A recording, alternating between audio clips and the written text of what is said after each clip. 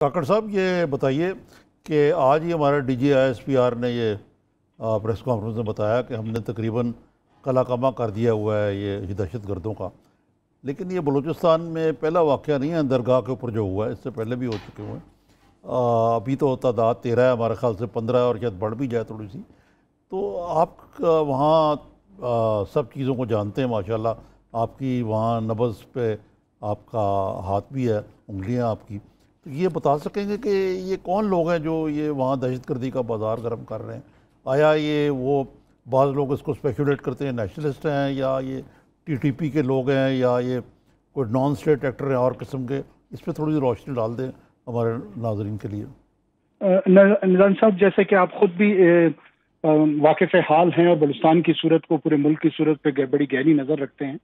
ہمارے ہاں آپ کے علم میں ہے کہ پچھلے ایک سوا سال سے جب سے یہ سی پیک کی ایکٹیویٹی ہماری بڑی ہے تو نیشنلزم کی جو کاروائیاں ہیں نیشنلزم کے نام کے جو دہشت دانہ کاروائیاں ہیں، وہ ساتھ ساتھ چلتے چلتے جو ریلیجس ایکسٹریمزم ہے نا اس کی جو متشدد کاروائیاں ہیں، وہ بھی بڑھ گئی ہیں۔